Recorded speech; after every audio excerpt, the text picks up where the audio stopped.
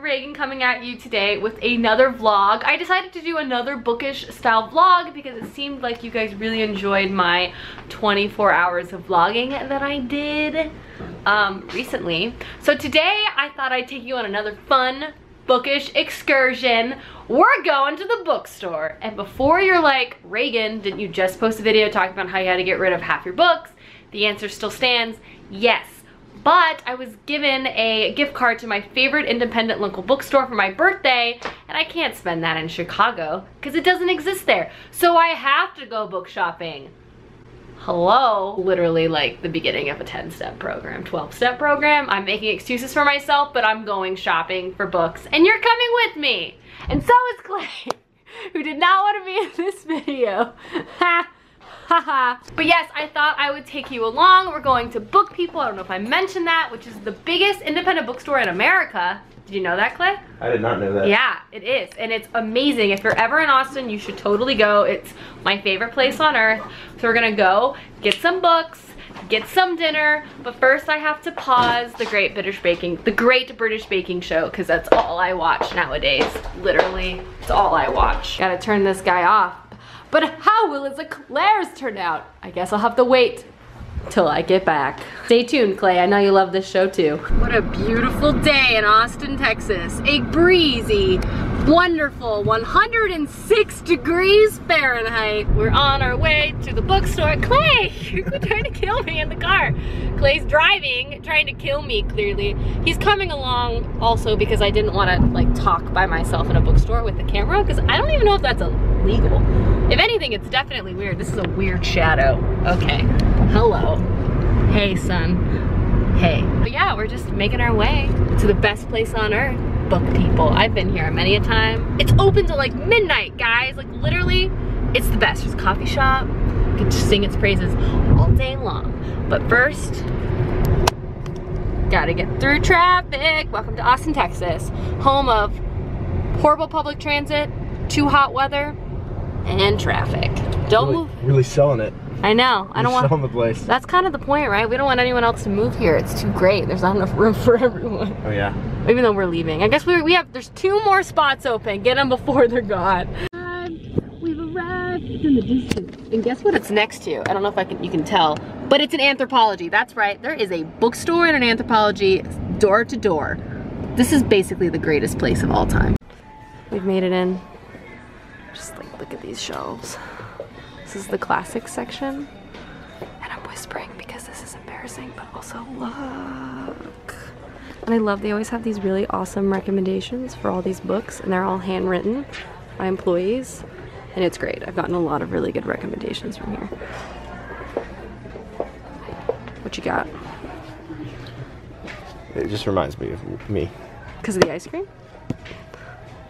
all we ever wanted was okay. This is my favorite place. It's the fantasy section. Look, look at all this Patrick Rothfuss. I'm gonna find a few books in here for sure. Just give me a second.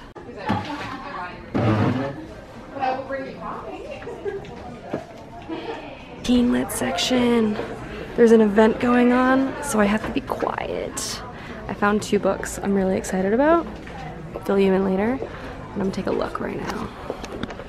My hands are currently full of books, but they redid the cover Queen's Thief series, and I think I might buy all of them.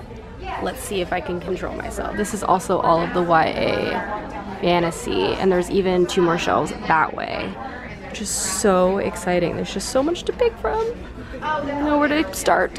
They have the new Shadow and Bone cover, and it looks so beautiful. Look at this. Look. Look at all of it. It's all blurry, but just know it's beautiful. I bought this off Amazon, otherwise I would totally get it. This looks so good. My boyfriend is a child. They made a section for me. he found the toys, everyone, in the bookstore. I can't bring him anywhere. My pile's starting to get a little out of hand. Heard really good things about this though. Books. Most of them are paperback, so they're light, okay? Clay's become my book jockey because I was it was getting too cumbersome while I looked for other books. So he's holding them for me. Appreciate you. we're leaving. I did some serious damage. I got the big bag. What were you gonna say? Let's book it out of here. Oh my God, kill me. Goodbye, book people. I don't know when I'm gonna see you next. Probably not for a long time. The temperature's gone down. 106 to 104. So much better now, wouldn't you say, Clay? For sure. Now that we're in the car, you can better see my haul. You can see it's a sea of paperbacks in here, and I'm so excited about every single one. I feel like I got a pretty dang good mix of things. I will say a lot of what I bought was actually like reprints of old, older fantasy series, like YA fantasy series that I either read a long time ago or meant to read. And then when I tried at the age of like 12, I wasn't a huge fan and I figured it was time to give it another chance. I'll show you some of them now. These will have already all been featured in a book haul by the time this video goes up. So you should already have seen some of these if you've seen that video. It is so bright. Ah, I mentioned this in store, but one of the series that got a new cover is The Thief, The Queen's Thief series by Megan Whalen Turner and that's because she has a whole new book that just came out inspired by this universe. And I've read this. I really liked it but I rebought it in the new cover to reread and I also bought the sequel. Same story with this guy The Naming by Alison Croggon this is a book I tried to read when I was like 12 and couldn't really get into it. She just released a new book again in this series and they all got repackaged. And I love the new covers for both of these series. I think it was just so lucky. I didn't even know it happened and then I saw it and I was like whoa. Whoa anyway, yeah, I did, I got all of these books were $100.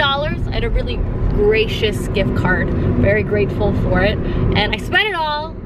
And now, and they're all paperbacks. So they should be light and easy to carry to Chicago. Wouldn't you say, Clay? Not a problem at all, right? You're gonna carry them, right? Yeah. So now to Din Din. I don't know, maybe I'll vlog that too if you guys are interested. And then when we get back, I'll lay out all the books in my bed and show you each one I got so you can kind of see the covers more clearly. But yay, I'm so happy with the books I got. I feel like, like I said, I think I got a good mix of like new releases that have a lot of hype, books I've never heard of, and then old or fantasy novels uh, in the YA genre at least that maybe are less known just because they're older but have gotten recently repackaged. So I, again, I'm very happy with what I got. So yay, successful shopping trip.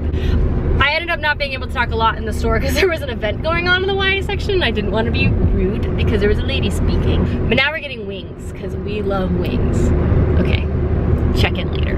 The clip where everyone learns how fat Clay and I are. Look how many wings we ordered. And we got an appetizer. Ah!